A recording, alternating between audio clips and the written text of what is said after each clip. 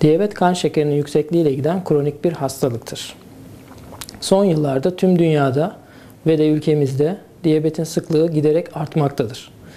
2020 yılında tüm dünyada yaklaşık 350 milyon kadar diyabetik insanın olacağı tahmin edilmektedir.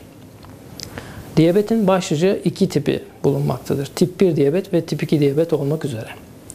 Tip 1 diyabet daha çok çocuklarda ve gençlerde görülen ve bir pankreas hasarına bağlı olarak vücutta insülin hormonunun hiç bulunmamasıyla karakterize diyabet tipidir. Buna bağlı olarak e, tip 1 diyabetin tedavisinde insülin hormonu kullanılmaktadır. Tip 2 diyabet ise ki bu diyabet tipi tüm dünyadaki diyabet artışından da sorumlu olan tiptir. Daha çok obezite ile ilgili olan diyabet şeklidir. Bu diyabette vücutta insülin hormonu bulunmaktadır ve hatta normalden de fazladır.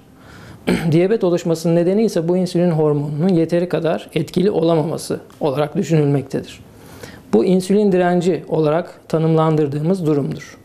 Bu direncin nedeni ise son yıllarda tüm dünyada ve ülkemizde de artan obezite olarak belirlenmiştir.